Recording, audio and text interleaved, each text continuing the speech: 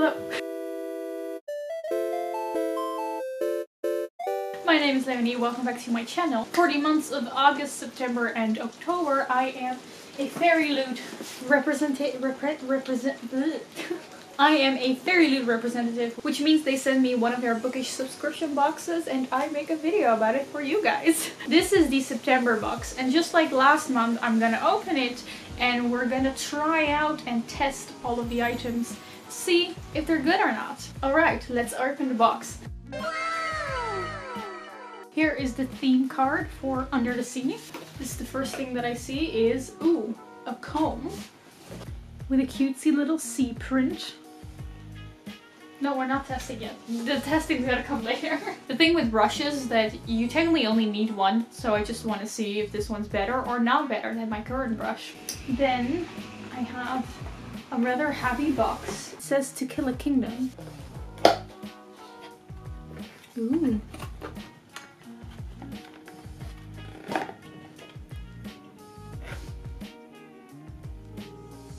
It's a beautiful mug. Oh, and then at the bottom, there's a quote. It says, It's like holding a story rather than a person. She feels wild and infinite in my arms. I haven't read it yet, but I'm gonna read it soon. And if I end up really loving this book, then obviously I'm gonna be super happy with this mug. Up in here, we have a postcard of Atlantis. And of course, just like last time, there, wow, I'm struggling. Like last time, there are these tarot cards. These are also from Nevernight, just like the tarot cards from last month. So I haven't read Nevernight, but I do really like the artwork that's on everything that has to do with Nevernight. Here I see a, ooh, that's big. A big pencil case. It reads, Don't grant all the prince's requests, darling girl. Men are always asking for more than they should from the novel Sea Witch, which I haven't read. Then I have a small little packet in here. I really appreciate how Fairy Loot doesn't use plastic, or at least as little plastic as possible in her boxes. It's a little keychain. Poor unfortunate souls. A quote from Ursula from The Little Mermaid. And then last but not least, the, oh no, there's something else. I have absolutely, what the heck could this be? Is this a pencil?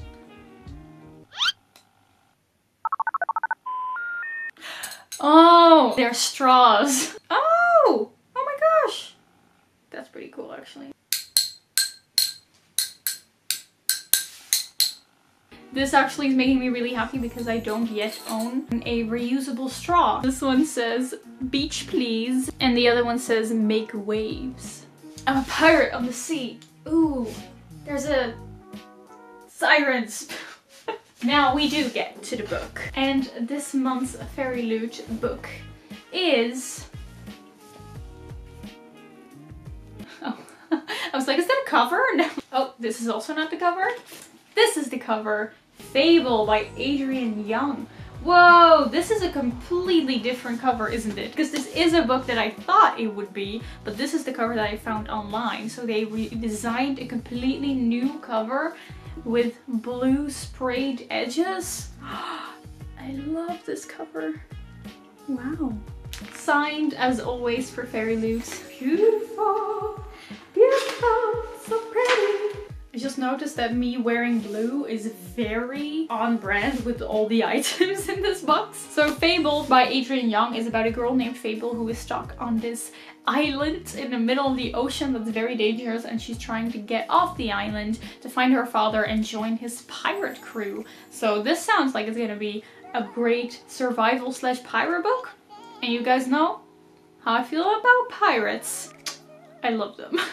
I'm gonna read this in October and then at the end of the month you will see my review for it in my October wrap up. And there's also some really pretty artwork in here with a note from the author. Thank you Fairy Loot for sending me this box. I am very grateful for that. Okay, that was everything that was inside this box. Let's move on to the review phase.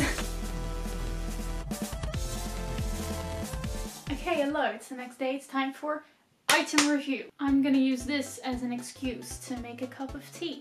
And then while it cools, I'm gonna try the other items.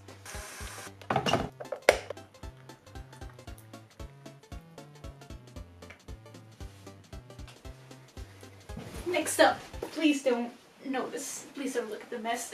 we have this pencil case, which uh, is huge. Like seriously, just this is the pencil case that I use on a day-to-day -day basis. This is the Fairy Loot pencil case. You can store a lot of pencils in there. I actually think this would be a very practical bag for makeup or toiletries when you go on holiday because it's big enough for that. Also, I know this is gonna sound like a very unimportant thing, but seriously, I've used a lot of pencil cases and toiletry cases in my life, um, and I've never had one that has this super beautiful velvety soft inside. Like it feels so nice. I can't explain how soft this is. This looks like a black hole to you guys but to me this is heavenly softness. I'm not really sure what I would use these for because I'm personally not really a fan of the artwork design on this one, but that's just a personal preference thing.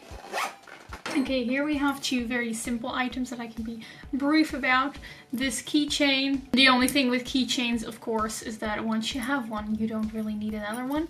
Um, but I, for one, don't yet have a keychain on my um, bicycle key. And I do need one because I keep losing my bicycle key. Yay! and I really like the art on this cute Atlantis card. It's a postcard. I don't know if anyone still sends postcards. What I do with postcards is I hang them on my wall as a kind of gallery wall. I don't think I'm gonna hang this one there simply because it doesn't really fit the color scheme that I have going on there. But I do really appreciate that with the spoiler card and the character art, it all goes together really well color-wise. So you can make a little gallery wall for yourself. Um, little confession, I actually never brush my hair. it's because I have kind of wavy hair and if I brush it, it becomes straight and I like it a little bit wavy. But anything for the video. I just want to know which one is better. My old brush that I've been using for years and years or this really cute one from Fairy Loot. you can tell that I don't brush my hair. See the difference? This is brushed hair and this is non-brushed hair. oh, this one actually feels a lot nicer. I don't really know what I expected they both brushed my hair correctly. it's a nice brush. Straw time. I'm gonna try out the small one because I think the thick boy is more for milkshakes and stuff and I don't have that. I wish I had something interesting to mix like a cocktail, but I don't so I think I'm just gonna make some lemonade. Oh no! Oh man. I seeped this tea for way too long. I never drink with straws. I don't know why this scares me. It's I just never drink with straws, so I'm just excited for this new experience.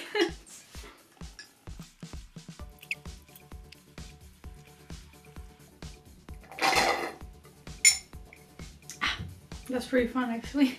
now I have to clean the straw, but the good thing is they also included a straw cleaner. So that makes it easy. And now for a cup of tea. Ooh, I'm getting so hydrated in this video. Okay, another weird thing. I've never had a mug with this little with this little edge on there.